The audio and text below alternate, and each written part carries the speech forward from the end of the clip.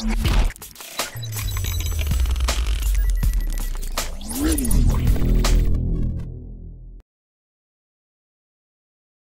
Hello friends sports பற்றின செய்திகளை தெரிஞ்சுக்க தமிழ் கிரிக்கெட் சேனலை சப்ஸ்கிரைப் பண்ணுங்க. யுவராஜ் சிங் இவங்க இந்திய அணியில் அதிரடி ஆல்ரவுண்டர் பிளேயர் ரெண்டாயிரத்தி பதினொன்று உலகக்கோப்பை போட்டியில் நம்ம இந்திய அணியானது வின் பண்ணி உலகக்கோப்பையை கைப்பற்றியிருப்பாங்க. அந்த மேட்ச்சில் யுவராஜ் சிங் செம்மையாக விளையாடிருப்பாங்க ஒம்பது போட்டிகளில் ஒரு சதம் நாலு அரை சதம் முந்நூற்றி அறுபத்தி ரெண்டு ரன்கள் பதினஞ்சு விக்கெட்கள்னு அதிரடியாக விளையாடிருப்பாங்க அவங்களுக்கு man of the series award வழங்கியிருப்பாங்க. அந்த மேட்சுக்கு அப்புறம் பார்த்தீங்கன்னா நம்ம இந்திய அணியில் நம்ம யுவராஜ் சிங்க்கு விளையாடுறதுக்கு வாய்ப்புகள் ரொம்ப குறைவாகவே இருந்துச்சு. இந்த வருஷம் ஐபிஎல் மேட்ச்சில் கிங்ஸ் லெவன் பஞ்சாப் அணிக்காண்டி விளையாடிட்டு வராங்க.